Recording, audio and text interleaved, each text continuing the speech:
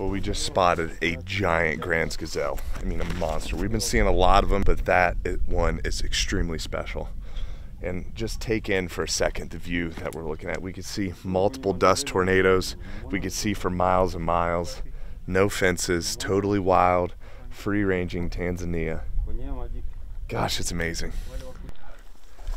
All right, guys, so we're losing elevation off the mountain here. If you look down there real far, you can see the Grant's gazelle underneath the tree. It is a giant. End up chilling in the shade. It's still pretty hot, so we're gonna keep losing elevation. And once we get down on the same level, we'll use those bushes to kind of sneak in and hopefully get a shot as long as they don't move. So we're gonna keep moving. We're getting close, guys.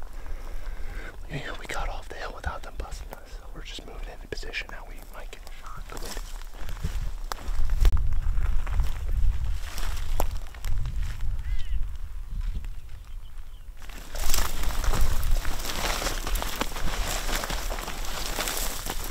Dang it.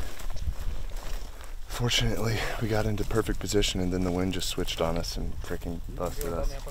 Freaking came down here and you can see we're in this thick, thick, nasty stuff and we just couldn't find him. They don't get big for a reason, I guess.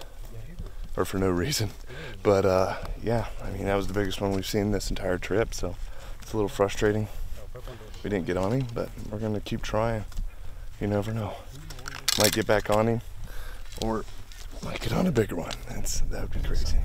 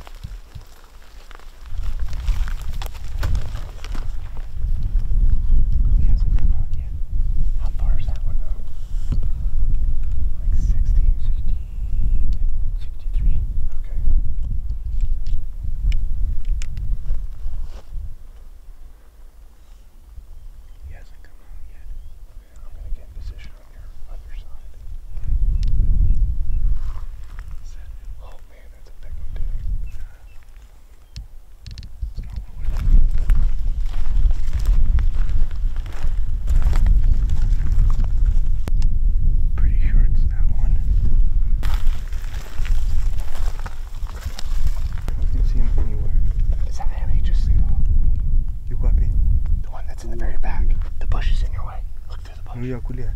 There he's coming out. Eh? Ni huyu. He's in the middle now. Yeah, he's he's wide, but he's not very long. Let's see if he gets this. He's just not cooperating. There's too many of them. I think we'd have a much better shot at them. So many Grants gazelles are giving us a run around. You know, they're used to seeing like Maasai around here, the Maasai people herding their goats and stuff. And so they are not as switched on as other animals, but man, just goes to show you we couldn't get close. We we we got inside a hundred a couple of times, but that was it. Pretty much wraps up today, and tomorrow's a new day see if we can't get on a lesser kudu and maybe another Grants and uh, we'll see how it happens gonna get the umbrella we're gonna try something different maybe he'll think we're a freaking ostrich hey we're gonna try anything we're we are getting our butts kicked by these african animals we need to stay low. And Yes, tight. Everyone stay in. I'm gonna be on his shoulder.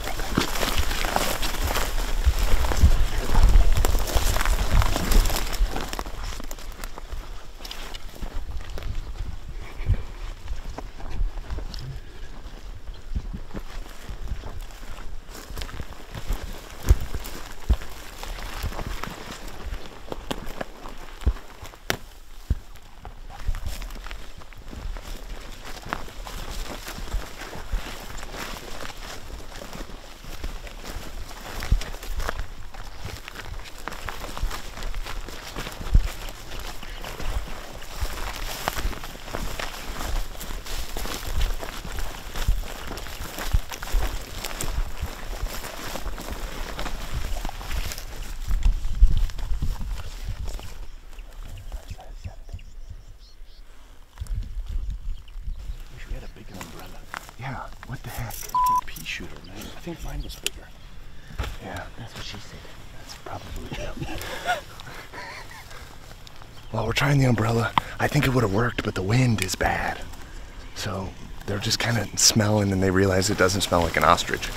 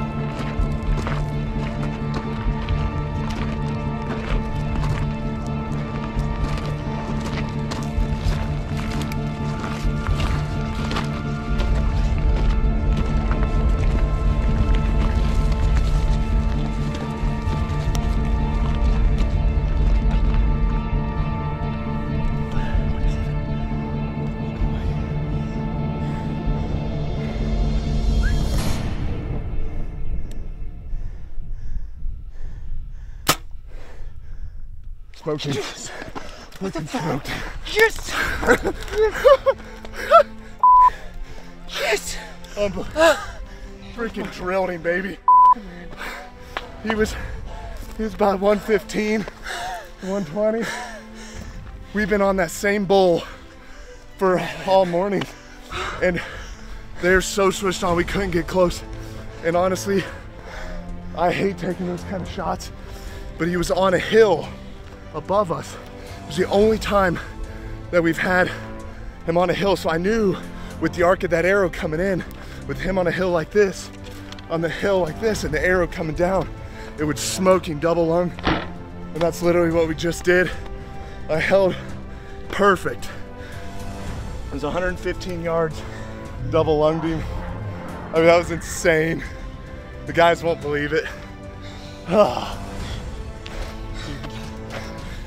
That's freaking crazy. what do you think of that, buddy?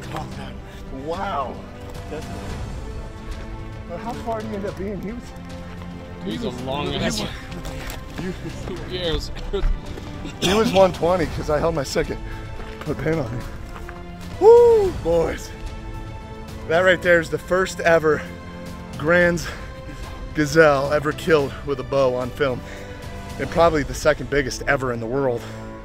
Maybe the biggest, you never know, but I'm telling you, there's a reason why there hasn't been very many killed with the bow. The boys are coming up with the truck. The reason is they are switched on. It is hard to get close. You see the desert country we're in here. It is unbelievable. Smoked him, buddy, like one 118 ish. Walking, double lung. I told Jeff in the car, I was like, Jeff, if they get a shot, I'll give you a when you hit it and you were like, oh, So we came up here and he was broadside at 107. He just started walking away. But see that hill? Did it hit him on? Like, oh, Freaking smoke. oh, in the back. Yeah. Because he, well, when he was walking away, When you No, react? you well, so when he was walking away, you could see that hill. So he was kind of at an angle like this. So I knew with that arrow coming down. Fuck, that's epic. So I just, I held high we deserve that. and freaking, Fuck, that was insane. he heard the arrow coming and he tried to run out of the way and just, we freaking did it, baby. well done. Yeah. Insane, man. Oh my god, that This is a real achievement with the bow, guys. First ever Grant's Gazelle ever filmed with a bow. Boy, we worked hard on this one. You know, we've been seeing a lot of these. Honestly, it's it's uh, one of those one of those deals where there's a ton of them around, but we were looking for something really special and old. And we found this bull and we stayed on him all morning and we didn't give up. I, I don't even know how many miles we put on, but it was a lot. And here, Donnie, come back here. You get in the frame. We all worked hard for this. You know, Donnie was, th- these things are just unbelievable, like switched on for us, you know? I mean, we could not get close. I knew it was gonna be a long shot, and unfortunately, I had to shoot him, you know, at about 118. And we've been trying all morning, and we got in a lot of times inside that, that 80 to 130 yard range, but they would never stop. We thought that eventually he would get tired, and we're talking it's almost noon probably, but yeah, it's probably yeah just before noon, and we didn't get him. And finally, we saw him come up over this hill, and we th- said, okay, this is going to be our chance. We ran to the top of the hill. He was at 107 broadside, and I went full draw, and he kept walking away. So I held high, and with him at an angle like that, it just dropped in and smoked him. He only went, you know, maybe 60, 70 yards and died. This is a, a bow hunting achievement of a lifetime. You know, I I don't like shooting them that far. If it was up to me, I'd shoot them at 20 yards every time. But we got it done, and I'm proud of this. And Lauren, we got it in. You should be proud, buddy. Man, It's a huge one. I mean, how big do you think he is? Come on in. You know, he might honestly, just looking at him, even Sebastian said, I mean, I don't know, what was the number one? Oh, this is over. This is this I is going to I be can at give least, you a at least 26, I think. Just check.